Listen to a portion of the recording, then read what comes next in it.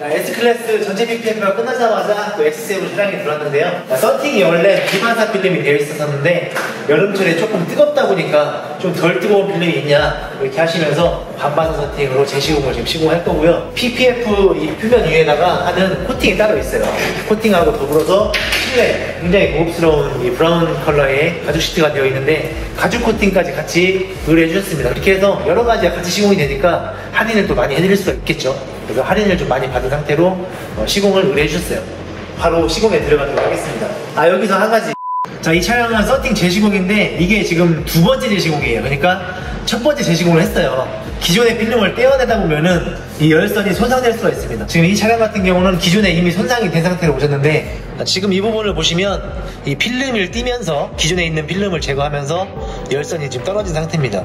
썬팅은 진짜 처음부터 좋은 걸 하시는 게 좋아요. 나중에 재시공한다고 떼잖아요. 이렇게 됩니다. 이런 경우가 허다하게 있어요.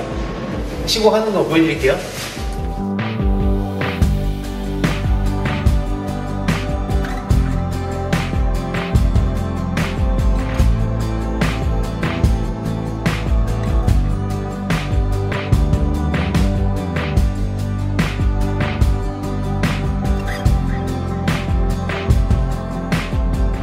지금 뒷유리 상향이 끝났는데 전체적인 모습을 보시면은 이 컴퓨터 재단을 활용해서 뽑은 필름이에요. 그래서 이 유리 모양에 맞게 필름이 재단되어서 나오는 거를 그대로 사용을 한 다음에 붙이면 끝나요. 최소한 열을 적게 주고 성형을 유리 모양에 맞게 한 거예요. 뒤에 같은 경우는 특히나 이렇게 깨끗하게 성형이 나와주면은 시공할 때 훨씬 더 수월해요. 붙일 때.